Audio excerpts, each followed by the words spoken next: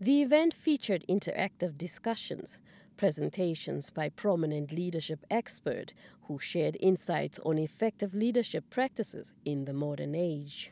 NIPAM's acting executive director Rebecca Kakololo underscored the importance of equipping leaders with the skills to navigate the rapidly changing social and economic landscape of Namibia. It's a call uh, for, for, for, leadership uh, and uh, the main topics that are covered is uh, the leadership pain. That as a leader, you need to go through some discomforts and challenges, and we should be prepared to, to, to embrace that so that we serve our institutions and also uh, our, our citizens in terms of service delivery.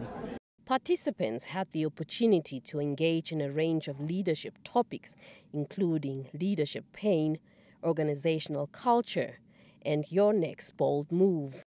NIPAM is trying to target or target is targeting the whole public sector, where this is talking about, we are looking at all the leaders that are in leadership role uh, these are public enterprises, ministries, uh, regional council, and local authority. We just brought in Max Moyo from uh, South Africa, who is embarking on several topics.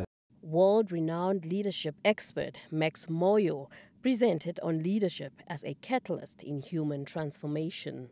We're talking to leaders, um, of 150 uh, leaders from government departments, because the delivery, service delivery that our people need so much comes from leadership. Without leadership, the people aren't going to get the service that they need.